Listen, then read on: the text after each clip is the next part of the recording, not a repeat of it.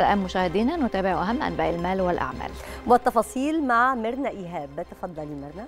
شكرا لكما إلهام وإيمان والآن جولة اقتصادية جديدة محليا وعالميا.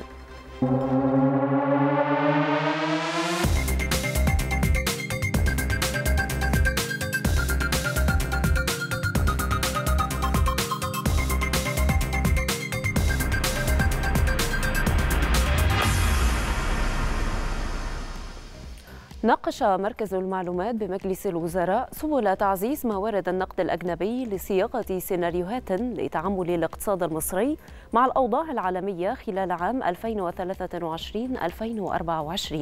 كما ناقش المركز ضرورة إطلاق استراتيجية لزيادة عدد السائحين إلى 30 مليون سائح خلال الفترة المقبلة.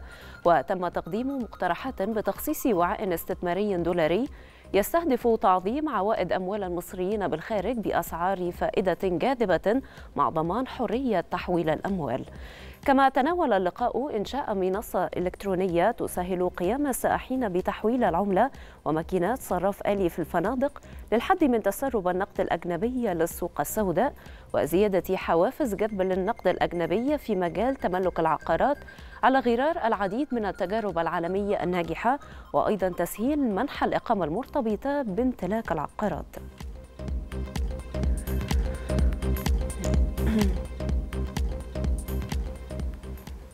التقى الرئيس التنفيذي للهيئة العامة للاستثمار والمناطق الحرة حسام هيبة مع سفيرة دولة الإمارات العربية المتحدة في القاهرة مريم خليفة الكعبي وذلك لبحث فرص الاستثمار بمصر وأيضا سبل تعزيز التعاون الاقتصادي المشترك بين البلدين.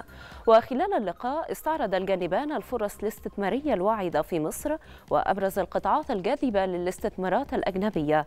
واتفق الجانبان على تبادل الخبرات في إدارة المناطق الحرة ودوائر التنمية الاقتصادية وأيضا تنظيم ملتقى مصري إماراتي بشكل دوري لبحث فرص الاستثمار بين البلدين.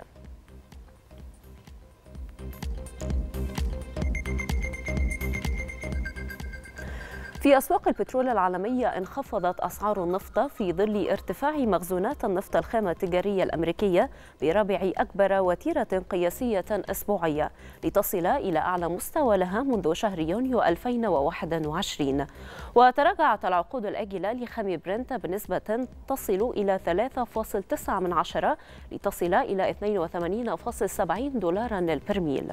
هذا وانخفضت العقود الآجلة لخام غرب تكساس الوسيط الأمريكي 4.2 من عشرة بالمئة لتصل إلى 75.96 دولارا للبرميل وصعدت أسعار المازوت عالميا بنسبة 1.45 من 100 بالمئة لتصل إلى 2.64 دولارا للتر وفي المقابل انخفضت أسعار الغاز الطبيعي بنسبة 3.3 من عشرة بالمئة لتسجل 2.10 دولارات لكل مليون وحدة حرارية بريطانية. رفع مورغان ستانلي تقديراته لنمو الطلب العالمي على النفط هذا العام بنحو 36% استنادا إلى الزخم المتزايد نتيجة رفع الصين القيود المرتبطة بجائحة كوفيد وانتعاش قطاع الطيران.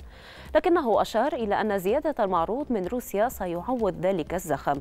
وأكد البنك أن الاستهلاك العالمي للنفط من المتوقع أن يرتفع حوالي 1.9 مليون برميل يومياً مقارنة مع توقعاته السابقة بأن يبلغ النمو 1.4 من عشرة مليون برميل يومياً.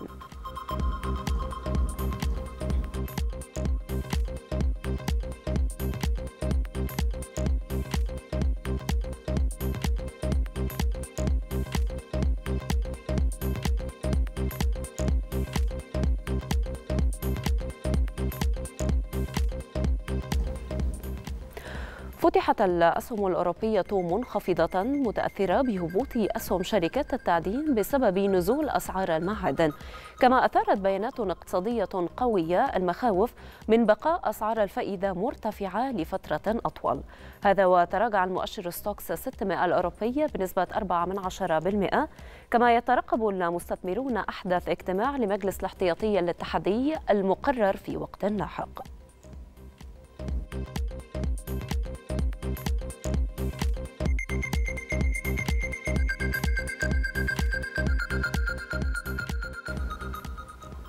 أغلق المؤشر نيكي الياباني عند أدنى مستوياته متأثرا بموجة بيع واسعة وسط توترات سياسية عالمية ومخاوف بأن يؤدي رفع أسعار الفائدة في الولايات المتحدة إلى تباطؤ الاقتصاد العالمي. هذا وخسر المؤشر نيكي 1.34 من 100% ليغلق عند مستوى 27104 نقطة مسجلا أكبر تراجع يومي له منذ التاسع عشر من شهر يناير الماضي.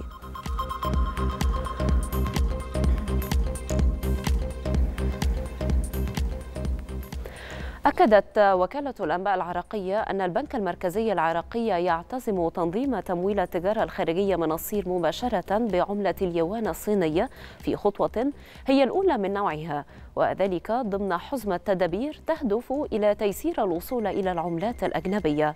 وأضافت الوكالة أن البنك المركزي العراقي شرع في اتخاذ تدابير عاجلة من شأنها تعويض نقص الدولار في السوق المحلية الأمر الذي دفع مجلس الوزراء العراقي إلى الموافقة على إعادة تقييم الدينار العراقي مقابل الدولار الشهر الجاري.